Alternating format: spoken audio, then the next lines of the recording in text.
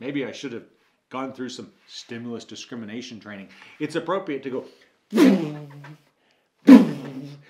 when you're demonstrating stuff to your children about how cars can move very fast and what it sounds like.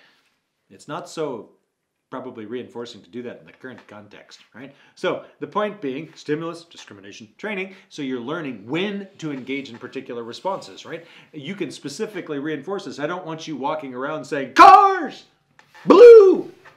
orange, unless things like cars, blue, or orange are present, right? So in the presence of a particular stimulus, we might want you to attack that stimulus. So um, cameraman is wearing an orange shirt today, so um, we could say orange. It's actually Heather orange. It's weird, but anyway, so Heather orange which sounds like a person, but it's not. It's color because heather is part of a color. Anyway, stimulus discrimination training. Only in the presence of heathered colors will I say a heathered color.